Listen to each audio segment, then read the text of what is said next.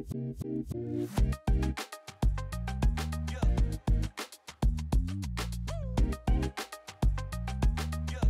had Nick Fisher come over today, and I gotta be honest, Nick, this was a fun build for me. Let me kind of highlight what we did to the bow, and then really the most important thing is Nick tunes completely different than the way I've been taught, and that is cool for you guys. You can take his best practices. We'll break it down right now. So I swapped out for the ElkShape side plates. I'm running for stobs. We got a 15-inch Mountain Series with no weight up front.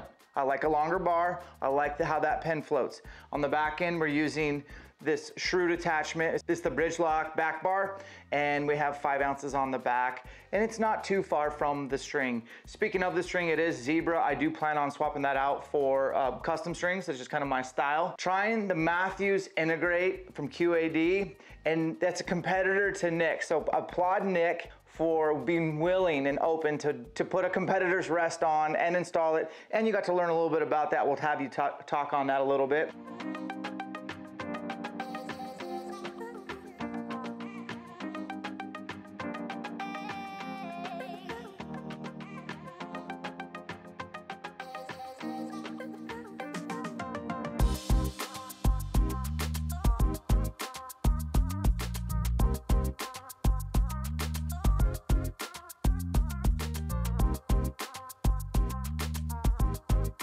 We're gonna check the center serving. Don't use the tips of your calipers. They're gonna squeeze down too hard.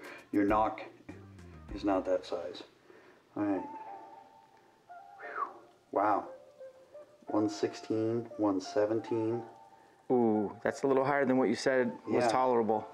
Yeah, maybe 115 there. Um, you know, trying to get in here where our nock is gonna be. I mean, the tips will be gentle. 115 and a half. That is no bueno. Okay. That's going to apply an amount of pressure where the nock is really being stressed. It's going to make tune difficult. The amount of force that requires the nock to pop off now, we're going to lose efficiency. And then it really, fortunately, when I designed the IP series of nocks, they're designed to handle 115 up to 115s. But there are dozens of nocks on the market that you will damage nocks with. You'll notice your snap feature starts getting loose. Um, you're stressing the material. Most of the nocks on the market are made out of polycarbonate and just pure polycarbonate. We can't put glass in them because it takes away the flexibility in the nock. It makes it brittle, which can cause it to explode on the shot. We don't want any of that. So there's limitations to what we got to do there, and it's just so simple. Just to the, again, the bow manufacturers, the string manufacturers, throw a pair of calipers on there and check it. They're at 112. That's still high. Buy some center serving material. You don't got to change your process. Just buy some material that's a thou or two smaller so that we can hit 110. Again, I'm a 108 guy, 108, 19, 109. I want that thing, that nock to be nice and and not being retained by So like move the that move that arrow and see what show them what they're talking what you're kind of talking about here. This play.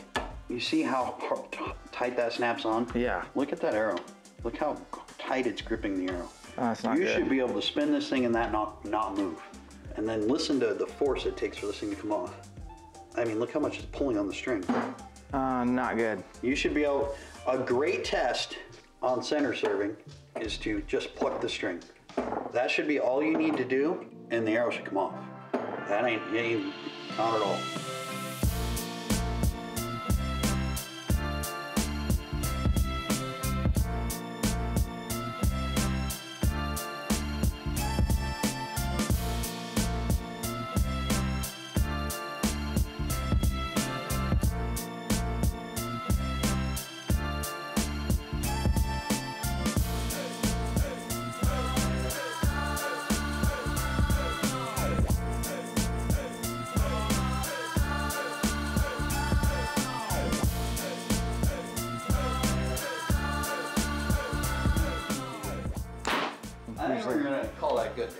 Holy, that's that's pretty nice. Boy, I mean, you can kind of tell there's not a whole lot to say here. If I was to say anything, it's maybe a tiny bit low left, but boy, sure not very much.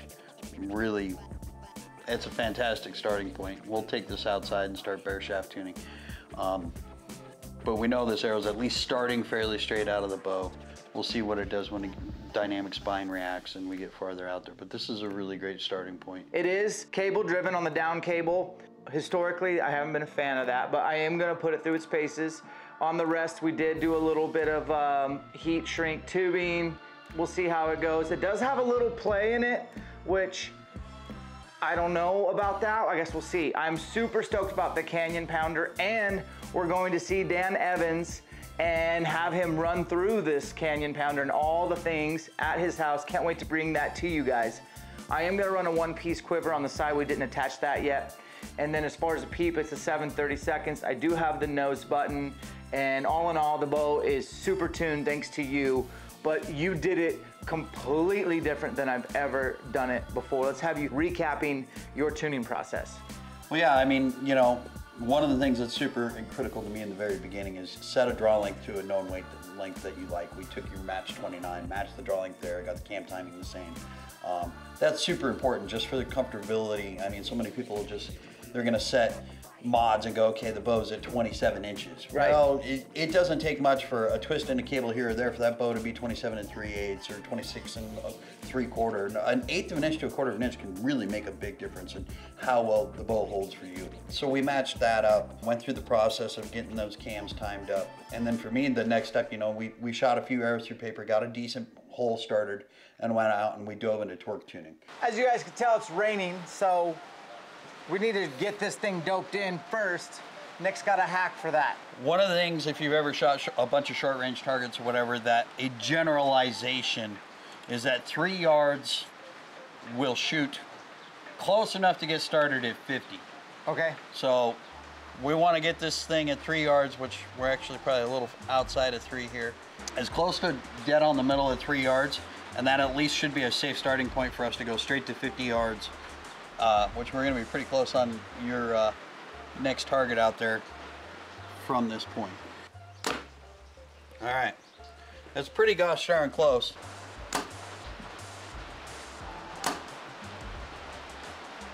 Just left of it, two solid arrows, man. Okay, so this next arrow, this is where we're gonna get into torque tuning. As I explained in there, Dan's gonna come to draw, torque the bow to the left, hold it torqued. You don't wanna go extreme and risk derailing the boat. Just apply some nice torque to the left. The bubble's gonna go. The bubble will only move if the boat tilts. You still wanna make sure the bu- bubble gets releveled. Okay. Hold the torque, recenter the peep, and execute as best a shot as you can. Okay. Okay. Good shot? Definitely surprise release. Okay. But surprised to see it go right. I thought I was torquing left. Right, so this is the, where I was mentioning before. If it goes in the direction that you torque it, you need to expand the distance. If it goes in the opposite direction, you shorten the distance. So we need As to move the right, the sight in.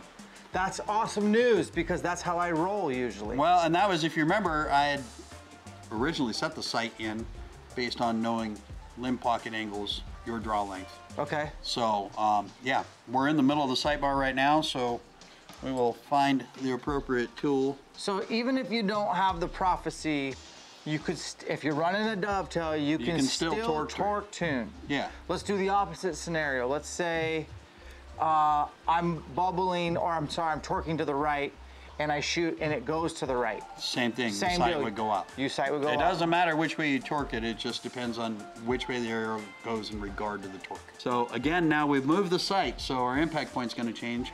I'm gonna run out there in the rain, grab those arrows, and we get to start that process again. He moved the sight all the way, well, to about an inch. Yeah, about, well, yeah, on this, about an inch, two clicks in. That's about as close as it can really get, too, by the way. Yeah, I mean, I don't know if we'll get one more click without it getting in the way of the cables. Okay, we're two inches high and inch right. Shoot one more. All right, they almost touched. Dan's got it going today. All right, let's see the torque shot. It kind of freaks me out on purpose torquing. Yeah, You know oh, I it mean? is. It like freaks me out. I'm like, this, this is not good. What's interesting you can see is both times we've torqued it, it's impacted low too. So that is causing some sort of torsional difference. Now, the amount of torque you're applying here is generally more than you ever would. That's more than I ever would have. Right. So even if you're in a funky situation taking a funny shot. But you can see that arrow is only an inch right now instead of six. Fact. You brought me way in. All right, so now, now- on an animal, Oh, on an animal, that's the difference between A gut liver shot or a a gut liver, shot yeah. or we made a good shot. shoot, that's awesome. All right, so now torque it to the right. Okay. It's in the group. No way, because I told. I was torquing shit. All right, guys, let's go show you. We'll bring you down there. These were his first two arrows. They're freaking touching. And one of the things to touch on here too, guys, again, we haven't leveled the sight. This is a mathematical equation depending on your draw length, limb pocket angle, the grip position. I'm a firm believer in shooting in your second axis. Um, and you'll see why when we start shooting bare shafts here because an arrow is a curveball. It is spinning, it curves. If you are in long range rifle shooting, you know, we have spin drift. Think of baseball throwing a curveball. You're spinning that thing, it curves to set a bow perfectly level and say, okay, my left and right impact is going to be fine. It's not going to be. And the farther you get out, depending on whether you're shooting right or left helical, the farther that thing is going to get off. To be very accurate at long range, you actually need to shoot with the bow tilted one way or the other, depending on which direction your arrow's spinning. This process here is early on because it is just a simple math equation that I don't know the equation for. We just know how to physically alter the results. For me, torque tuning again is just, it's super critical for every level of archer, but particularly it's something that hasn't been applied to bow hunting much. We're never, again, I've said this repeatedly, we're never in a perfect shooting position. So teaching you the torque tuning position, fortunately we didn't have to make a real big adjustment, but you saw right away the difference in the response, working the bow left and right both ways, and how we were able to eliminate that variance pretty quick. For those guys out there that like, oh, I like a longer brace height, one of the cool things about torque tuning, it eliminates the concern about brace height. You can actually take advantage of that power stroke, get a faster bow with a shorter brace height because, you know, every inch of brace height you're taking off is essentially adding to your drawing. T-Rex arms here. yeah, no, you can say it. No, that's that was interesting, guys. So the torque tuning methodology, if you want to really geek out, we're going to do another video. In fact, it'll be the next video, and it's going to feature the AE Prophecy, which is coming out 2023. That's a total nerd out session on how to torque tune proper, and it's one of the first steps if you're going to run that rest, and it's going to be a good option for many of you. All right, guys. So before we head out, one of the things I like to do when we start bare shaft tuning at longer distances is I really want the arrows to weigh the same, particularly because I want the same amount of weight on the back of the shaft. So get yourself some electrical tape, duct tape works as well. We're gonna check the fletched arrow here, 433 grains. Bare shaft, 414. So we need maybe 415, 28, 29 grains of tape. Believe it or not, that's not very much tape. So starting at roughly in the same spot his vanes are, we'll just make one pass down don't know what that's gonna weigh. We're gonna take a guess. You could strip off a run of tape and trim it to length to where it makes up the amount you want. That might be the intelligent way to go. I've done that before, but we're just gonna do it this way to start and see what we get here. 431. 431 and a half, or a grain and a half light, which in all theory is perfectly fine. Plus or minus five grains. You hear guys, you hear guys all go, oh, my arrows, they're all within a grain of each other, not even plus or minus a grain, within one grain total, plus or minus a half a grain. 50 yards, five grains variance. 99.8% of the world cannot shoot the difference. Bare shaft, 30 yards. A lot of people do 20. I just know you can really iron details out at 30. Yeah, basically the impact. I mean, coming into a foam target that's already got been shot up and got holes into it, it's hard to say with the arrow angle, but it is lower, so I would say that the point's starting to take over a little bit. You do, you are running a pretty fair amount of FOC here, so there could be a little bit of that, of just that weight of that point starting to take over a little bit, causing that to tip down.